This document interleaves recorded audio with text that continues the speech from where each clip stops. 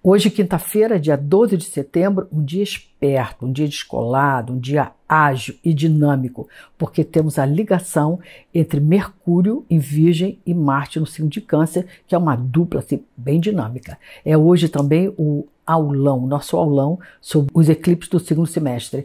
Eu vou esclarecer tudo, analisar tudo sobre os eclipses, a natureza desse fenômeno, seus efeitos, como se preparar para eles e principalmente analisar especificamente os dois eclipses do segundo semestre de 2024. Um vai acontecer agora no dia 17 de setembro e o outro no dia 2 de outubro. Temos tempo para nos preparar para eles. Você não pode perder esse aulão.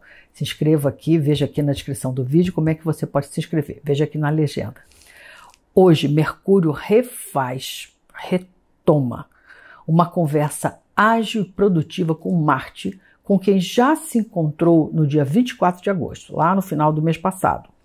Agende reuniões, faça contato, apresente propostas, lance uma ideia, provoque um encontro.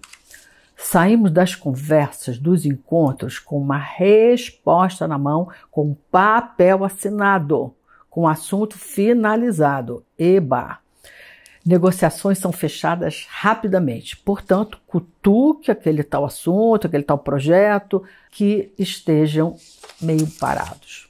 Esse ciclo favorece quem toma iniciativa e quem chega primeiro. Portanto, adiante-se. Anuncie, divulgue o produto ou serviço que você está querendo vender. Quem gostar, quem se interessar, compra na hora.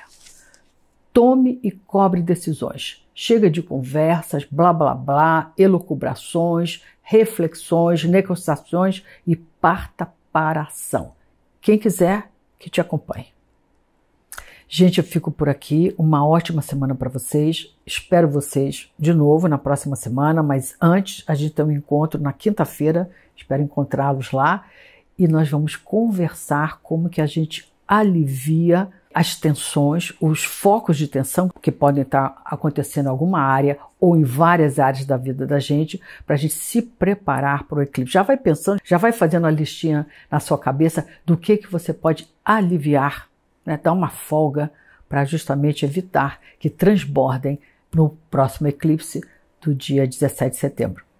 Vem lá, vamos nos preparar juntos para os eclipses. Até lá!